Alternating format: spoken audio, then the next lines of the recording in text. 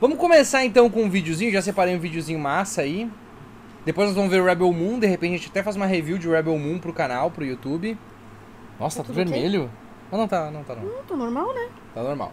Mas é que eu me depilei hoje, daí tá, tá incomodando. Ah, depois a gente vai ver, então como eu falei, a gente vai ver Rebel Moon. Uhum. E aí de repente a gente faz uma, uma review pro canal e pra De cá. repente, se a gente sentir, se a gente sentir alguma. Tem que falar mal do Zack Snyder. Se a gente sentir alguma emoção muito forte a respeito, sabe? Nossa, eu gostei muito, nossa, é muito bosta. Se eu for neutro a respeito, daí, tipo, Eu acho que a gente vai odiar que nem a gente odiou Army of the Dead. talvez. Eu não odiei Army of Ah, the eu Dead, detestei, fiquei eu quase dormi naquela bosta daquele filme, é muito ruim. Eu não gostei muito de The Creator. Também não. Achei boring. Mas esse aí é um que eu não tenho muito. muito... É neutra também. Na verdade, assim, eu tenho uma opinião sobre ele que a- a- é uma coisa assim, tipo, ele é muito. Ele. É, não tem o que falar. Vocês votaram no Bolsonaro? Nope. Nenhuma sequer vez. Eu chego a me ofender de tu perguntar uma coisa dessas, né? Pelo amor de Deus. Ah, vamos lá então, começar a live aqui. Saudades, JPzinho. Saudade, JP. Mas vamos lá, né? Desculpa não estar vindo, não tem problema. Fica tudo certo. A gente sabe como é que é. É, vai lá, pega o teu. É. Trabalha, faz o teu. Que tu sabe que a gente entende. Deus recompensa depois. Isso aí. Vamos lá então. ah, Eu vamos- tava lembrando do, do negócio da Blaze, Ah, do, daquele Mousse lá. Do, Sei. ex- do Rodrigo Eliezer. Uhum. E aí tu não viu, mas no vídeo, não, não lembro se foi no vídeo do Luigi ou se foi no vídeo do Felipe Leme, que tinha a mãe da Vitube falando que o cara tinha se acidentado e a Vitube pagou tudo, né? Sim, aham. E daí ela disse, ai, por que que tu não cobra ele? Ele disse, ai, não, Deus vai me pagar em dobro. Tá bom. Ah, vocês conhecem o Pipocando? Cara, muito pouco. Muito pouco. Muito pouco. Ouvi muito pouca coisa sobre ele, não faço. Assim. Eu enviei Eu sei que eles existem. pra participar, uma, pra, pra fazer parte, muitos anos Do atrás. Pipocando? Eu acho que era do Pipocando. Não, Não, não era, era, não era o E-pop. não. Eu acho que era Pipocando, não lembro. Faz anos, mas nunca foi chamado. Nosso Walter White brasileiro, não, não, esse é o Cariani. Esse é o Cariani, eu tô falando do Rodrigo Mussi. É, é, É um tá- não é o. Paulo Mussi também, que é o Paulo, corno. Paulo Musi. É, Paulo ZY. Mussi é o corno. Esse é o Rodrigo Mussi. É por causa da treta da Blaze. É. Não, é por causa do Cariani. Vamos lá então. ah, teve esse vídeo que saiu essa, essa semana, o desmentido do Bolsonaro, que tá mais quietinho nos últimos meses, mas volta e meia eles fazem uns vídeos bem legais. E esse aqui é uma retrospectiva desse ano, baseado em dicas de coaches financeiros. Nunca sigam coaches financeiros. Ao que tudo indica, pelo que está aparecendo nos dados econômicos agora, o mercado já está projetando uma Selic mais alta para 2023. Então, se antes a discussão era sobre quando a Selic iria começar a cair, agora a discussão é quando ela vai voltar a subir. O Banco Central reduziu a taxa Selic em meio ponto percentual, conforme o mercado previa. A quarta foi a Começou bem. Começamos muito bem. quarta queda seguida. Agora, os juros oficiais do Brasil estão em 11,75% ao ano. A verdade é que no Ou seja, os caras já estavam lá, na- lá no. lá- antes de virar o ano, vamos prever Que vai dar tudo errado. que vai dar tudo errado, vão ter que subir mais os juros, estamos ferrados, se preparem, Lula vai destruir o Brasil. Como dizia o Paulo Guedes, seis meses Argentina, um ano Venezuela. Um ano e meio. Um ano e, um ano e meio? Um ano e meio, é. É. Só mais seis meses pra gente virar Venezuela, gente. É. Esse aqui é 15 do 12, ó. Esse aqui é é praticamente um ano atrás agora já. futuro não tão distante, a Faria Lima, os agentes de mercado, apoiadores do Lula, esses economistas, esses eh, liberais, eles vão se dar conta que fizeram a pior precificação de risco da história do Brasil. Superestimaram o risco de Bolsonaro e subestimaram o risco de Lula. Depois da aprovação no Congresso da reforma tributária, a agência de classificação de risco S&P elevou a nota de crédito soberano do Brasil. Quais são os dois Isso aqui é muito lindo, né? Exageraram ao precificar o risco Bolsonaro. Eles erraram em precificar 700 mil mortos. E não é tão arriscado assim. Que eu tava dizendo hoje num, num dos comentários que a gente tava respondendo, né? O Lula errou, Brasil não é a maior economia do mundo. O Bolsonaro errou 700 mil mortos. Acho que é uma comparação, né? Lula erra, erra, mas economicamente nós estamos muito melhores do que nós estávamos há um ano atrás. É porque o Lula tem sorte.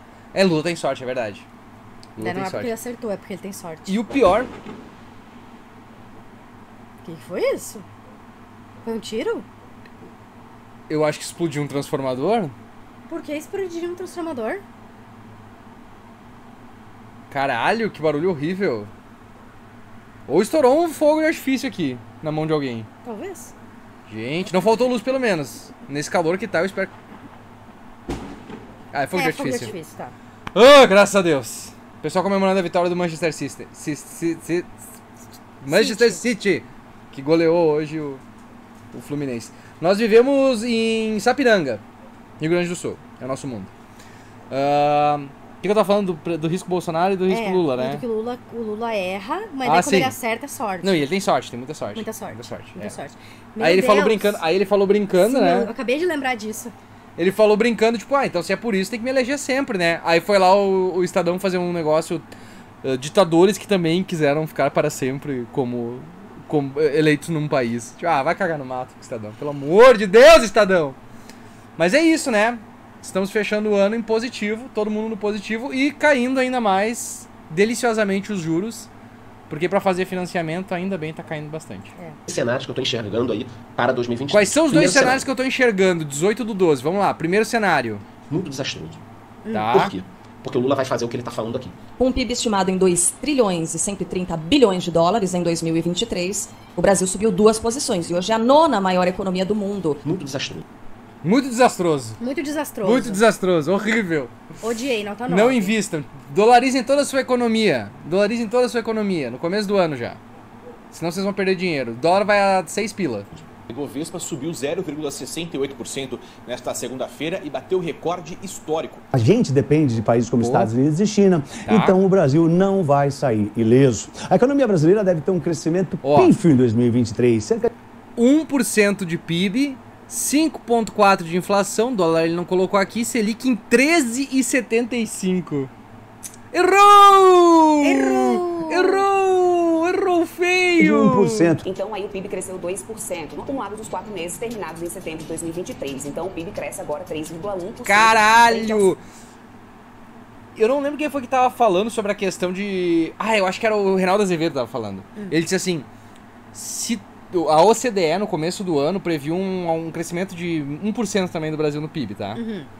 E aí depois eles corrigiram que ia ser 1,5%. E agora eles corrigiram de novo porque viram que tava aumentando, né? E agora estão dizendo que 2024 vai ser um caos. O Brasil não vai mais crescer.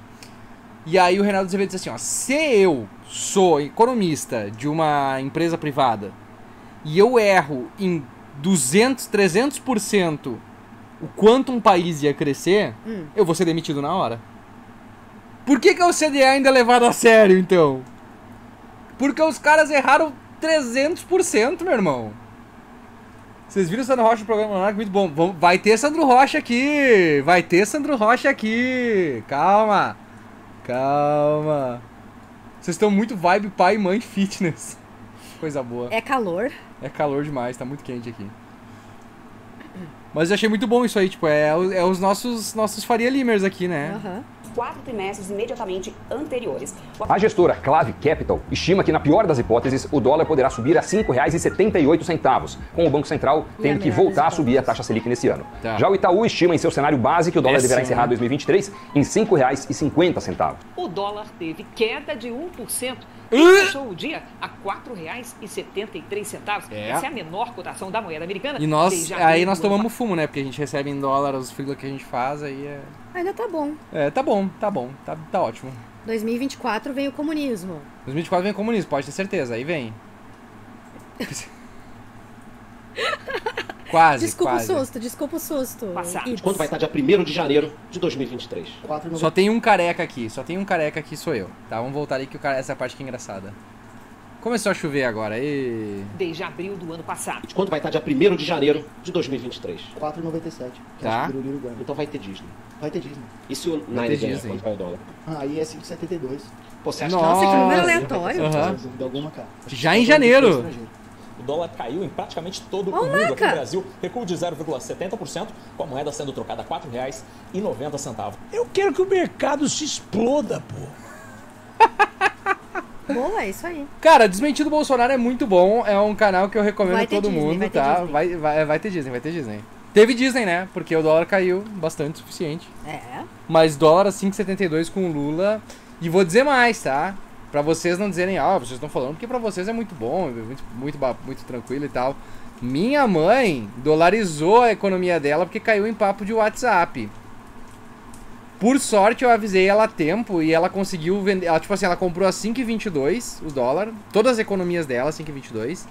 E ela deu sorte que deu um pico em uma hora e ela conseguiu vender a 5,20. Se ela tivesse segurado até agora, ó, Ah. Tudo porque o Fala Maia furou o jejum, é isso aí. Tudo exatamente. Se ele não tivesse furado de jejum,